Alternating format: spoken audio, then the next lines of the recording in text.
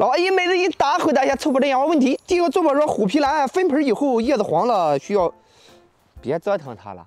你跟我大舅子一样，然后刚换了个对象，你说哎呀，你大舅子面色有点黄，很正常，是吧？他不适应，适应了就好了。你别别别折腾了，别折腾，你养的很棒了，别折腾，明白了吗？很多的花友就是，嗯，就跟人哈，就是他可能考试考了八十五分，有的考了九十多分，有的考了九十九分，考了八十五分那个很乐呵，花养活了就行。你这个呢，起码就是九十八分、九十五分那个成绩，但是你总是纠结那三分五分不满分，别纠结了，臭宝已经养的很棒了。你可以问问评论区里边，明白了吗？有时候就是这种花友明明很会养花，被人家指指东道西的给弄的，就迷糊了就不会养了。下个臭宝，南天竹叶尖发黑了。这怎么办？两天一泡水，水大就是水大。你看都发黑了、发黄了，就是水大，明白了吗？它没必要两天一泡水。你像现在我们现在我们大棚里面，平均浇水的频率在一个月一到两次，因为现在温度低，它通风慢。你像夏天的时候，我们几边的风扇一开，通风口一开，可能就要一天浇一次或者两天浇一次。你不能按照夏天的那个规律来，你夏天两天泡一水绝对没事，外边使劲晒太阳，对吧？你现在天气凉，通风不好，就控制自己的浇水，干了再浇，不干不浇。下个周宝，君子兰咋弄啊？你君子兰就这样慢慢长呗，什么怎么弄？没法弄，就只能看时间，慢慢来，慢慢养，没办法弄，明白了吗？正常的水肥给着，正常养，慢慢养。你这个要想养起来，起码在家里边得两年的时间才能养出个样来。所以说，跟花友们说，有时候你们养花尽量的买个成品，就是这个事儿了。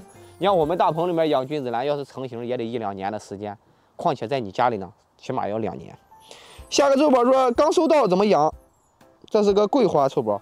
如果是你是南方的花友，我的建议是种地下。如果是家里边比较冷，哎，我看你边上那盆花也是，你普遍的存在一个水大缺光、通风差的现象，明白了吗？我估计你这个也养不好。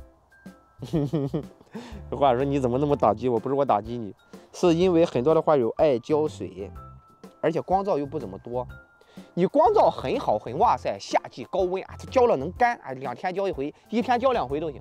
你在屋里边，你浇上一次水，甚至一个月都不干，有的花友还是一两天浇一次，它能不干吗？所以说干湿循环就跟人练功跑步是一个道理。你跑步，你跑一圈一圈的跑，对吧？好家伙了，你说你。吹这这个天气比较凉快、比较舒服的时候，你跑十圈八圈一天没事你你我大舅子刚割了这个啊围脖手术，好家伙了，你让他跑，不跑的大出血吗？植物不一个道理吗？你得看情况来。这个可以换一个盆了，你给它种上就行了。种上以后干了再浇水，不干不浇，尽量给足光照。桂花是贼喜阳的，晒不死，明白了吗？一个月之后再说用肥的事儿。下个周宝，老花医帮忙诊断一下，你这个长寿花看样子是被红蜘蛛吸干净了。我说这怎么办？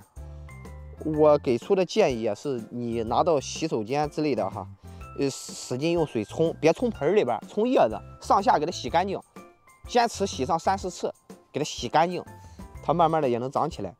到明年春天或者你现在的给它剪剪头，还能再长。该给肥料给肥料，明白了吗？虽然是病，虽然是虫，这个没事。虫子的话，你勤冲洗，它也红蜘蛛也能冲干净，明白了吗？就是要勤快，别的没什么了。觉得不错，记得点个关注。我是老花一，养花最专一，白乐师傅。嗨，嘿嘿嘿嘿。